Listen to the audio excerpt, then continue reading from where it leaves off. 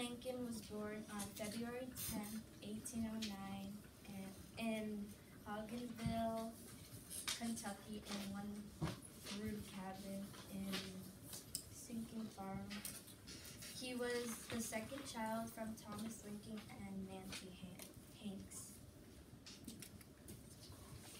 Family uh, and child. Family and childhood.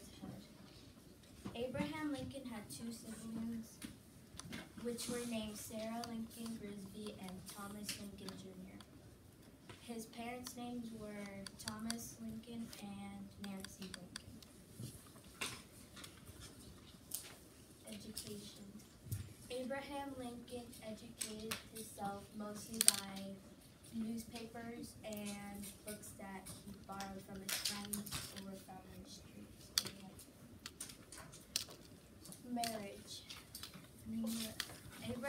Lincoln married Mary Ann Todd in, in Springfield, Kentucky.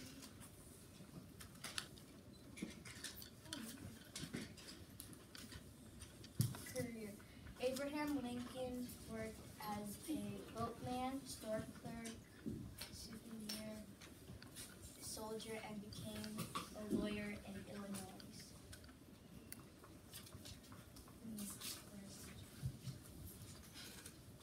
Abraham Lincoln was the 16th president of the United States, the person who led people through the Civil War, and the one who Civil War.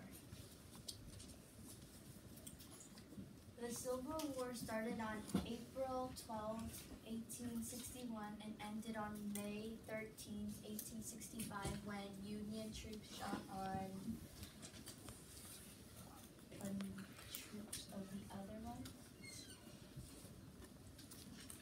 Contributes and accomplishment. Abraham Lincoln became president, stopped slavery, and made the world a better place. Conclusion. This man changed the world and made it like it is today, all because of this brave, strong man, President Abraham Lincoln. You have Alexa uh, three questions for her.